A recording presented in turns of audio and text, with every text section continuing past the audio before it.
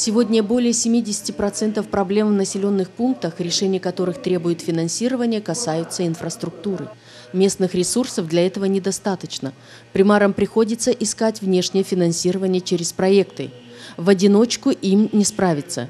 Институт по развитию и экспертизе проекта предлагает местным органам власти информационную помощь и представительство во взаимоотношениях с потенциальным донором.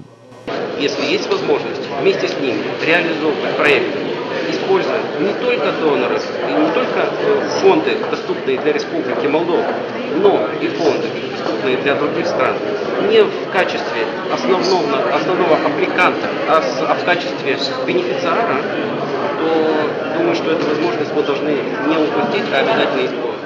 Самая большая проблема примаров – отсутствие навыков в управлении энергетикой. Цены на энергоресурсы растут, а планов выживания у глав городов нет. Энергетической политики и квалифицированных специалистов по проектам тоже нет. Таких денег у города никогда не будет.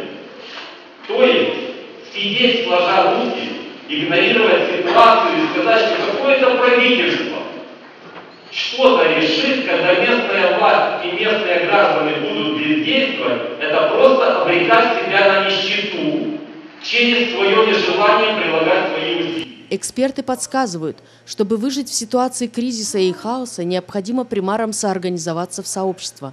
Кроме этого, постоянно повышать свой уровень, четко аргументировать намерения и владеть ситуацией. Можно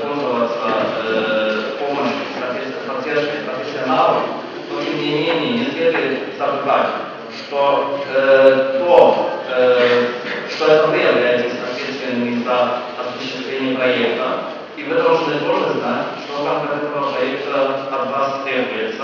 Если у вас есть партнеры в рамках одного и того же проекта, каждый должен знать, что он именно э, будет делать. На региональном форуме Молдова-Украина-Румыния участвовало более 160 человек. Большинство из них – примары. Институт по развитию и экспертизе проекта работает с осени 2012 года, но официально был презентован только сейчас. Для экспертизы проектов институт будет привлекать экспертов Румынии, Канады, Украины, Молдовы.